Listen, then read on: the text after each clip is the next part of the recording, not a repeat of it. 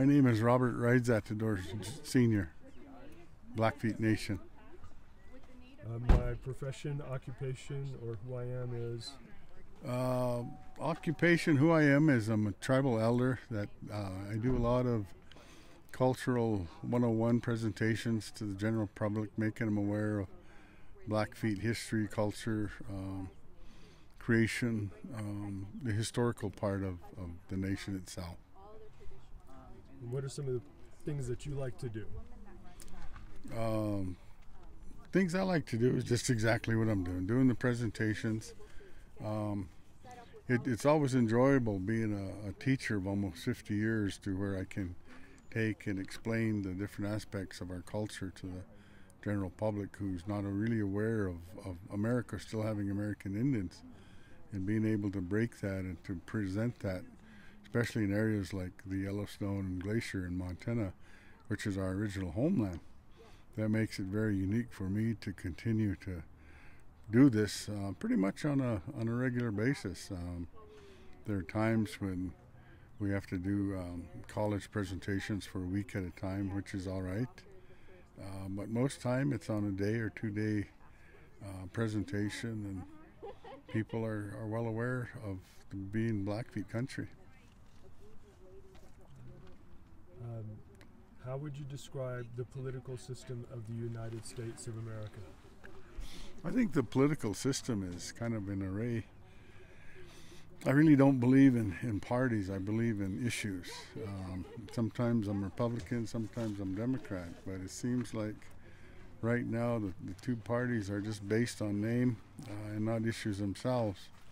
And uh, sometimes I've got to be more Democrat than I am Republican at times because of the programs that I've always supported are more Democratic supported than the Republican side. So um, probably uh, 60% Democrat and 40% Republican, and then sometimes 100% one way or the other. yeah. Um, describe your feelings or reactions to the current state of U.S. politics.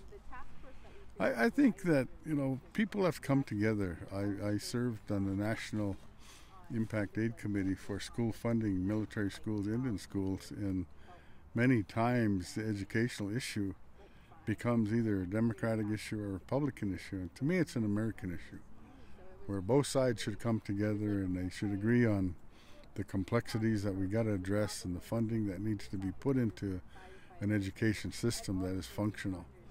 I think many times there are too many political decisions based on military and, and based on uh, non educational issues, which uh, uh, to me, uh, we, we need to fix our backyard rather than worry about somebody else's front yard in some other foreign country.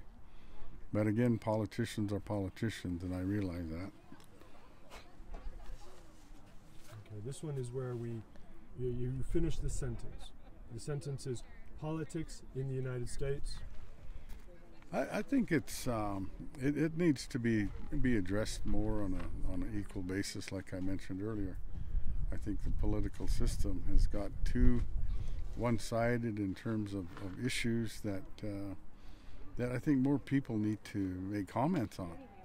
Uh, many times I was in congressional hearings and I asked them, I said, well, what's the public feeling? And they said, well, we didn't get the general opinion on that yet. Uh, we're just kind of exploring this. I'm saying, well, in a democracy, especially in an Indian democracy like we have had in our societies, everybody had a word, and from those words, uh, the direction was given, and the leaders were then given that direction and moving forward. And I think it worked until the new system moved in of uh, the political world and turmoil that we're in today.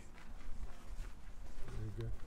So those are the questions. Now we're going to find just one word. That'll be the title of the piece with your audio on it, and of the and of the sculpture I'm going to make. Mm. Um, so, one word. I had there's some words that you said. I had a, um, you had together, uh, equal, but those are words that I kind of caught. Uh, and issues. I think I was for issue. I'm not sure. It wasn't. I was an issue. Maybe you have another one. josiah josiah josiah yeah josiah he's in arizona leo davis Not easy when you just. I mean, we're boiling down to one. Right, one right, thing. right. No, it's one word. Um, Now, um, I don't remember the gentleman's name over there in Blow from Crow Nation, but he gave the name of his his nation in the native tongue, so that could work too. Oh, our, ours is uh, Amskapi Pikuni, Southern Piegan. So can you say uh, the word is, and then that? The, the word is Amskapi Pikuni, meaning Southern Piegan.